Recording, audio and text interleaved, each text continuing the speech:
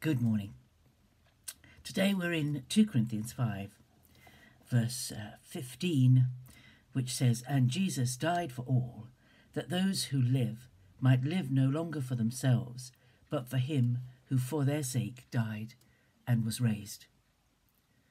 We're living for Jesus, not for, for ourselves, not for our own purposes, not for our own pleasure.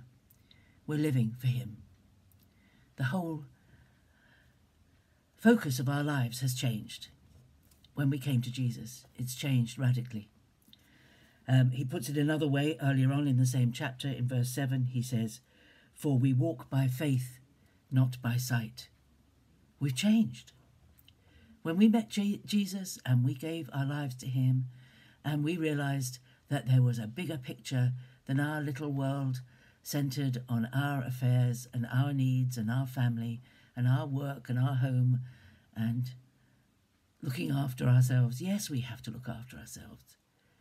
But we mustn't be obsessed with looking after ourselves. We have to see the bigger picture. We've changed. So that those who live, it says in verse 15, He died for all, that those who live may live no longer for themselves, but for Him who for their sake died and was raised. The focus has changed. The focus is not in, it's out. The focus is not me, me, me, me. And if you didn't notice that, me. But out there, others for whom Jesus died. And as if that isn't convincing enough, in words, if we skipped over that and didn't realize that a radical, enormous, indescribable almost change has happened in our lives. He goes on to write. Verse 17 Therefore, if anyone is in Christ, he is a new creation or a new creature. Oh, the old has passed away. Behold, the new has come. If you didn't get it then, will you get it now? When you became a Christian, when you turned to Jesus,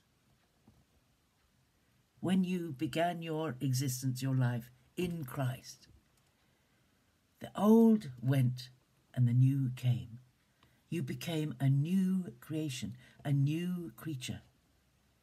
Do you know before Jesus died and rose again and sent his Holy Spirit, there weren't any people who were living lives born again of the Spirit of God. This is a new category of creature, a new kind of life. Adam and Eve didn't need to be filled with the Spirit before they sinned.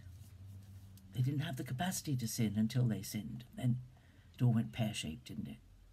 We are new creatures, a new creature that has a different centre. The centre, the core has changed. The core is not me or you. The core is Jesus. For me to live is Christ, and to die is gain. That's how Paul described it. Such a radical change. The old has gone, the new has come. That's finished. This has started. We're changed, radically changed. We don't live by feelings or sight we live by faith. That's a radical change. The old thing that, you know, we responded to stimuli, and that was all we did. We responded to orders from people around us, and we, as we were children, we did what we had to do.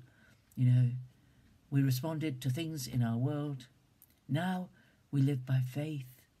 Now we follow. We choose faith, not feelings, and not sight. Often sight is deceptive. I don't know if you've ever been to one of those museums. Uh, I can't think which one. Probably a, the Science Museum. Years and years ago, they had a wonderful exhibit where, when you looked at it straight on, you saw a mug or a teapot or whatever. But if you looked to the side, you saw it was only a half.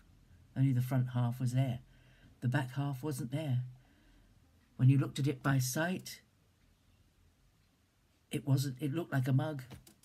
It looked as if you could pour water into it and it would be fine. But when you look from the side, it was simply a facade. We don't know the full picture of most of the things in our lives, but God does. We walk by faith, listening to Him, and He guides us so that our foot doesn't slip and we don't make a mistake and we don't get into trouble. If anyone is in Christ, he is a new creation. The old has passed away. Behold, the new has come.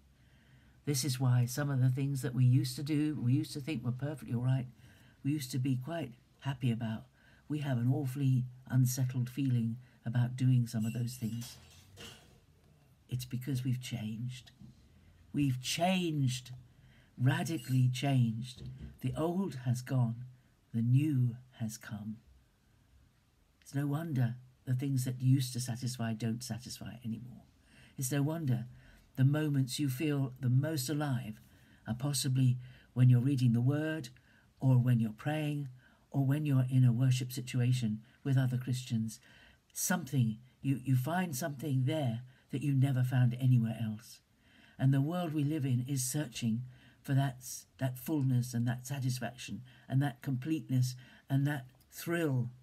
And they use every means at their disposal to find and get the thrill that can only be got from living for Jesus. There's no other way to get it because that's what we were made for. We were made to walk by faith and not by sight. We were made to trust and not fear. We were made to be motivated and filled with the Holy Spirit. We were made to live no longer for ourselves, but for Him who, for their sake, for my sake, for your sake, died and was raised. We finally found what we were made for. Praise God. Have a great day. Be very blessed in everything that you do. Listen to the faith talk and not to the feelings talk. Remember, you're a new creation. Praise God. See you again tomorrow. Bye bye.